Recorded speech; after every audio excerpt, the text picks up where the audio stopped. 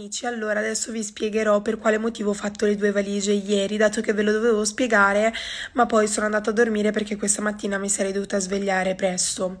Allora, la prima valigia l'ho fatta per venire qua a Milano, dato che questa settimana ci sarà la Fashion Week, infatti sono davvero molto curiosa, ma chiaramente vi porterò con me. Poi la seconda valigia l'ho fatta perché sabato io partirò con la mia famiglia, andrò dieci giorni in vacanza e, mm, e dato che questa settimana non ci sarei stata ho dovuto fare la valigia ieri.